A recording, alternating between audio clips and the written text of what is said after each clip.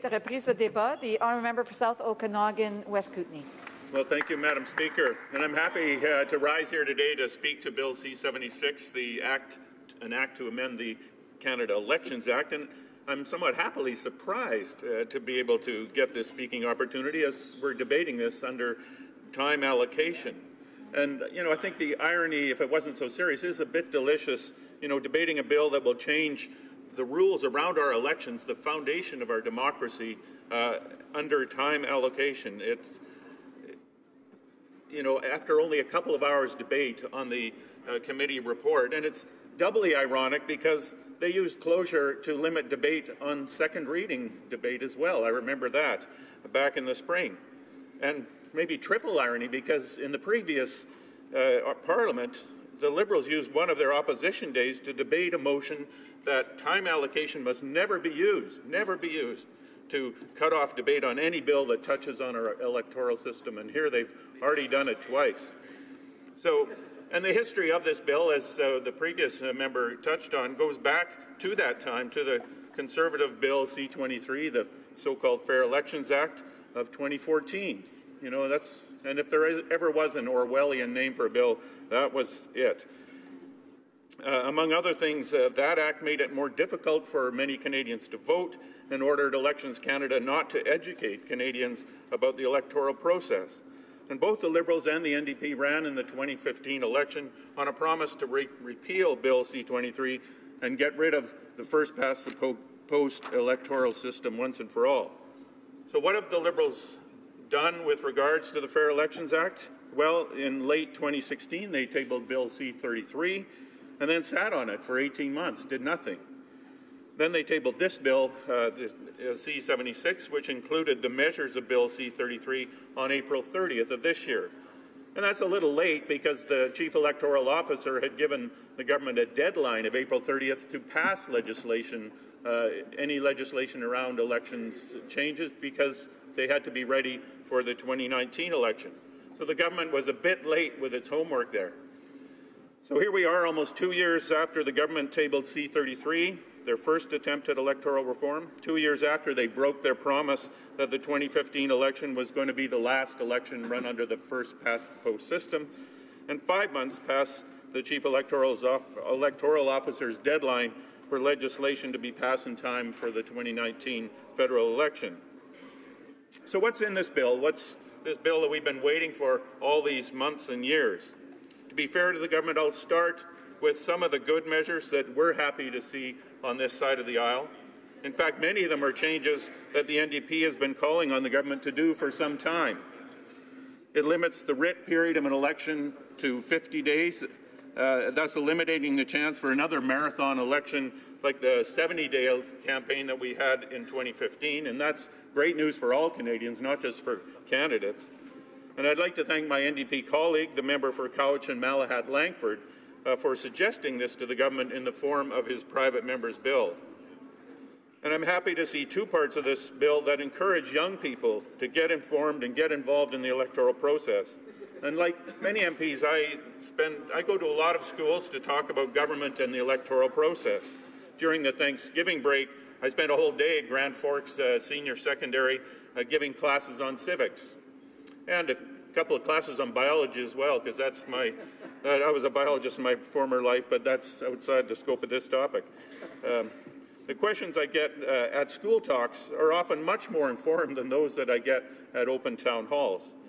And unfortunately, the turnout for young voters at elections is usually well below that of older voters. So I'm happy that Bill C-76 allows the registration of future electors between the ages of 14 and 17. This simple act has been shown in other jurisdictions to increase the proportion of people, young people, who vote after they turn 18. Unfortunately, the Liberals voted down an NDP amendment to this bill that asked the government to study the possibility of lowering the voting age to 17.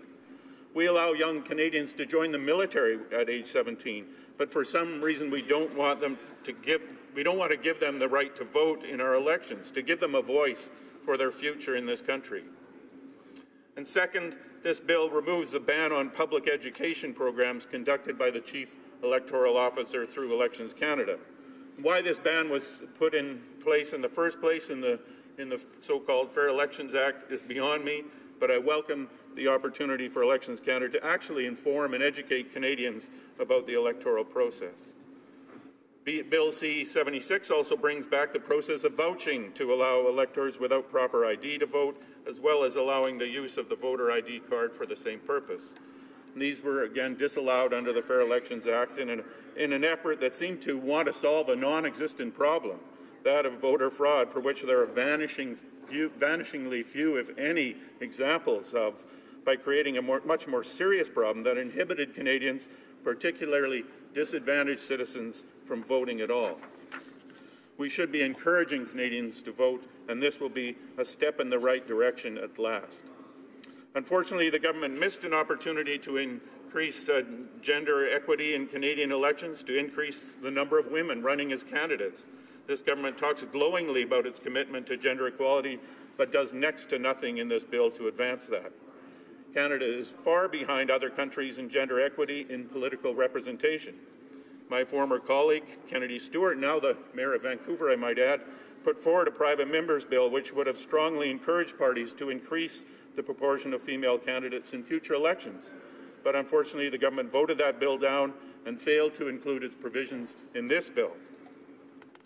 And there's no ban on foreign third party spending or activity. We've seen evidence how foreign activity has affected ac- elections in the United States and the UK, and I think we need to ban that from Canadian elections. We hear almost daily stories of election tampering in those areas and others. Canadians are deeply concerned about privacy issues during election campaigns. Political parties amass huge amounts of personal information on voters, and yet there's nothing in this bill that covers that. Nothing. That the present Chief Electoral Officer, Stéphane Perreault, said in committee if there is one area in which this bill failed, it is privacy. The parties are not subject to any kind of privacy regime. And the Privacy Commissioner, Daniel Therrien, said that the bill has nothing of substance in regards to privacy. No one at committee spoke against more stringent privacy requirements. Everyone was concerned that we did not go far enough. Mr. Madam Speaker, I'll close by bringing up the big thing missing from this bill, and that, of course, is real electoral reform. The Liberals and the NDP and the Greens all campaigned under in a promise in that 2015 would be the last election under first past the post. That represented over 60% of Canadian voters that supported that idea. And for many Canadians, that was the most important promise of the election. Canadians were tired of elections that gave parties with less than 40% of the vote 100% of the power in a majority government. The Harper government was an example, and the present Liberal government is another. Unfortunately, once the Liberals got that power, they forgot about that promise. So, Madam Speaker, the Liberals say they want to increase the participation in Canadians in the electoral process. They say that Bill C 76 is their answer to this. But the incredible cynicism on their lack of action on real electoral reform has already had a negative effect on how Canadians feel about their elected representatives and whether it's even worth voting in the next election. So I'll close by simply saying that I support many of the reforms contained in Bill C 76, but it falls short in so many ways. And like so many bills we see in this place, it's a step in the right direction. It's a tentative step in the right direction. But we need to go farther. Let's get rid of big money in elections. Let's ban foreign interference in elections. Let's protect the privacy of Canadians. And let's get back on track to getting rid of first past the post so that every vote will count. Thank you. Questions and comments? Young member for